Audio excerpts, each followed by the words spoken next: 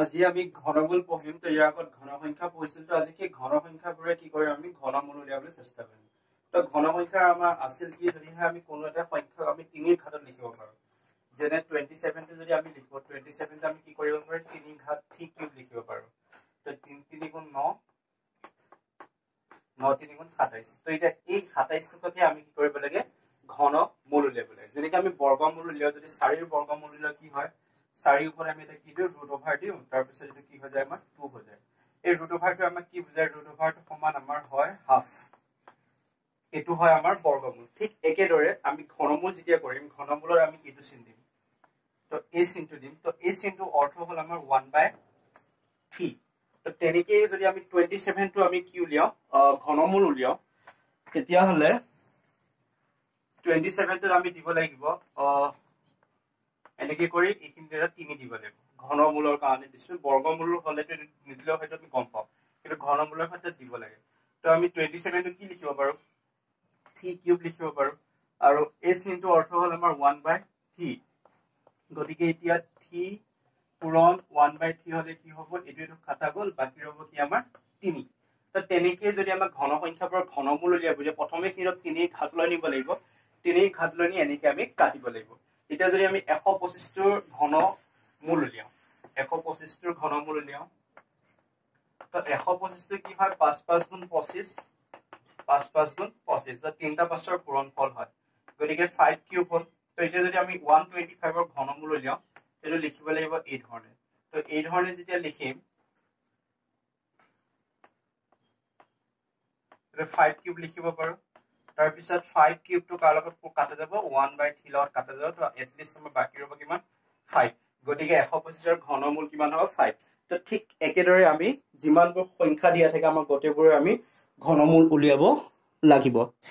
তোমালোকৰ কিতাপত এটা সংখ্যা দিয়া আছে থ্ৰী থ্ৰী ছেভেন ফাইভ তো তাৰ আমি ঘনমূল উলিয়াম।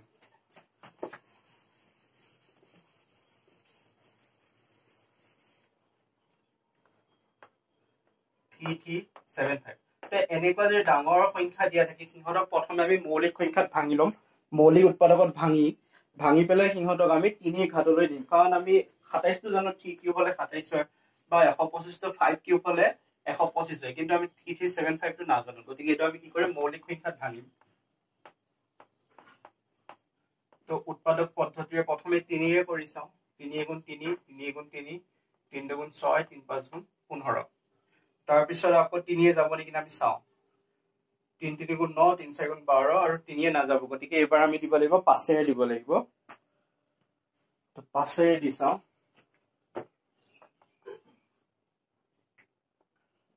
পাঁচ দুগুণ দহ পাঁচ দুগুণ দহ পাঁচ পাঁচ গুণ পঁচিছ।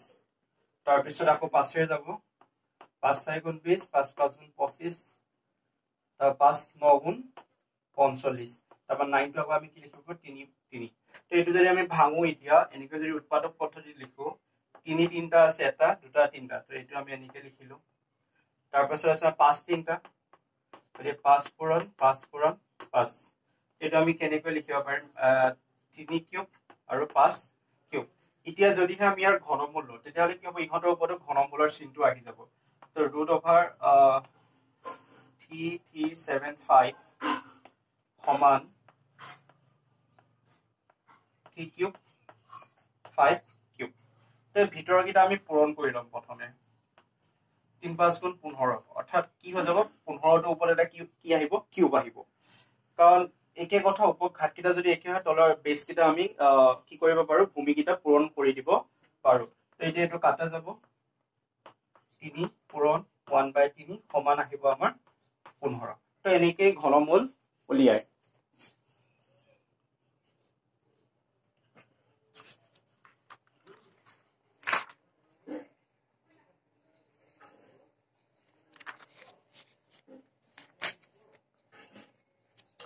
এটা শ্ৰেণী অনুশীলনী যিটো দিয়া আছে তাৰ এটা প্ৰশ্ন কৰিম সাতশ পঁচিছ দিয়া আছে তো সাতশ পঁচিছটো আমি ঘনমূল উলিয়াম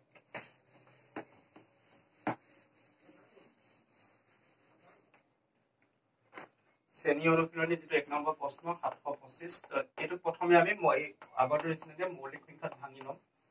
এইটো তিনি দুগুণ ছয় তিনি চাৰি গুণ বাৰ তিনিয়ে নাযাব গতিকে পাঁচেৰে যাব। পাঁচ এগুণ পাঁচ পাঁচ দুগুণ দহ পাঁচ চাৰি গুণ বিশ পাঁচ পাঁচ গুণ পঁচিছ। তাৰপিছত আকৌ পাঁচ দুগুণ দহ পাঁচ ন গুণ। এইটোতো কিবাহে গ'ল দেখোন? পাঁচ এগুণ পাঁচ পাঁচ চাৰি গুণ বিশ পাঁচ পাঁচ গুণ পঁচিছ তিনি চাৰি গুণ বাৰ পাঁচ ন গুণ পঞ্চল্লিছ পঁচিছ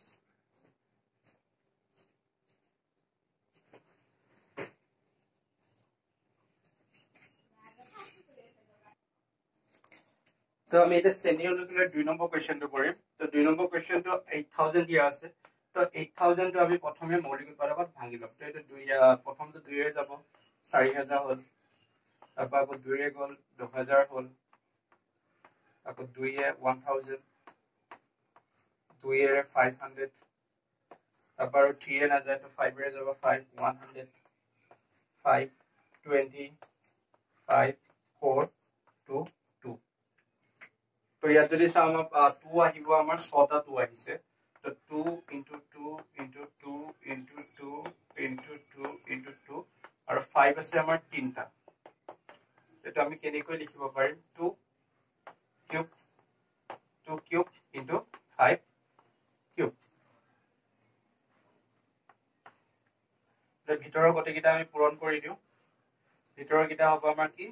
দুই পূৰণ দুই পূৰণ ফাইভ হোল কিউব এইটো আমাৰ আহিব কিবা টুৱেণ্টি কিউব এতিয়া আমি এইট থাউজেণ্ডৰ ঘনমূল ওলোৱা মানে কাৰ ঘনমূল যাম টুৱেণ্টি কিউবৰ গতিকে এইট থাউজেণ্ড কিউব টুৱেণ্টি এইটো তিনি এইটো তিনি কাটা গ'ল বাকী ৰ'ল আমাৰ বিছ অৰ্থাৎ এইট থাউজেণ্ডৰ ঘনমূল হ'ব আমাৰ বাবে বিছ